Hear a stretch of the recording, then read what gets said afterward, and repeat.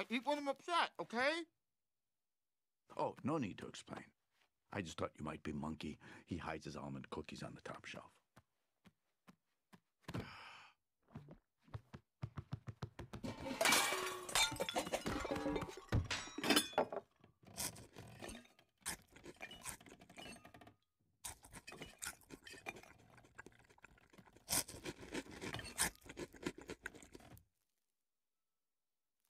Don't tell Monkey. Look at you. Yeah, I know. I disgust you. No, no. I mean, how did you get up there? I don't know. I guess.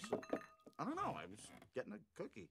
And yet you are ten feet off the ground and have done a perfect split. No, this? This is just a. accident.